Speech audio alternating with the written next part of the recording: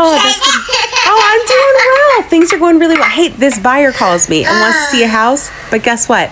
They're not even pre. No, they said no. They're not pre-approved, but they wanted to see a house. Can you believe it? I know. Uh, hello.